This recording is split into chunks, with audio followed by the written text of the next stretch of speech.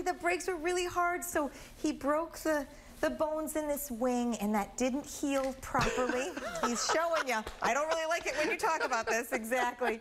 They didn't heal properly, so he needed to find a permanent home. If you didn't catch that, let me just tell you folks, it's Yeah. a good thing that we have the tarp down because Zephyr could not make it to the restroom.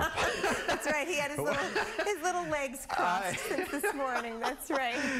you are watching The Rhode Show. Don't fly away. We're coming back in two minutes. Good job, Zephyr. Watching you.